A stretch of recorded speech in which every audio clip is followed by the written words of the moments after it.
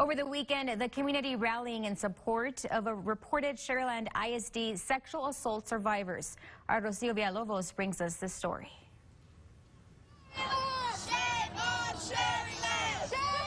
Dozens marching in support of sexual assault survivors during a rally at Bannworth Park, organized by Sharyland alumni who say the district has a history of covering up harassment and assault against its students. This comes after an alleged hazing incident involving students from the Sharyland Pioneer swim team dating back to November of last year, which has so far not resulted in any arrests or expulsions. Attendees speaking out in support of the victims and calling for the reprioritization of Sharyland faculty's allegiance. If you work at a school, you're supposed to be there for the students, not for the administration. Organizers have also drafted a list of demands for Sharyland ISD, which they say are needed to right the district's wrongs. While at school, Roberta Garza's daughter was repeatedly attacked by another student. She says the school knew, but did nothing. We need to be united, the parents and Sharyland community.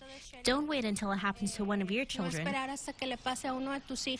14-year-old Gracia Magarejo, the district's inaction regarding the recent alleged sexual assault of a pioneer freshman brings up memories of what she went through. In 2016, she was raped by a district employee, and despite reporting the molestation to teachers, administration, and even police, she says her rapist faced no consequences, leading her to switch schools. Couldn't take it anymore. I was seeing him in the hallways, in the classes. Even after I made my statement, they didn't do anything to him. He kept his job, he kept his reputation, and when he retired, they celebrated him.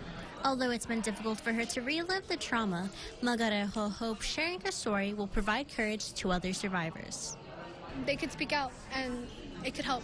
It could really heal because you're helping other people to voice themselves. The protesters say they will not stop fighting until they see change and their demands are met. Reporting in Mission for Local 23 News, Rocio Villalobos. Today, the school district has not commented on the alleged incidents. Among the demands are a public apology and acknowledgement, as well as sexual assault training. To view the rest of the list, head on over to our website. That's kveo.com.